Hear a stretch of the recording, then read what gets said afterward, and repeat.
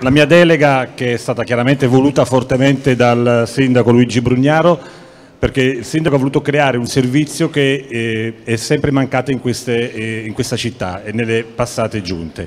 Io ho ricevuto come rapporto con i cittadini precisamente 440 cittadini.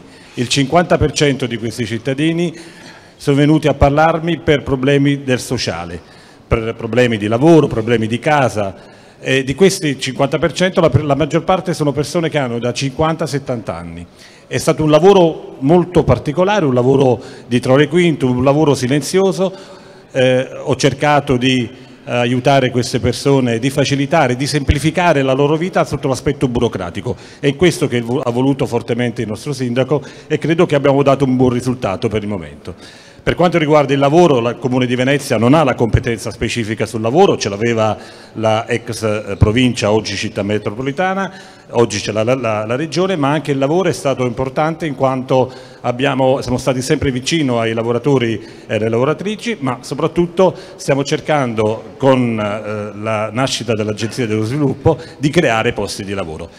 Eh, per quanto riguarda lo sport io ringrazio Matteo Senno che è il presidente della commissione, eh, appunto del, della commissione consigliare dello sport.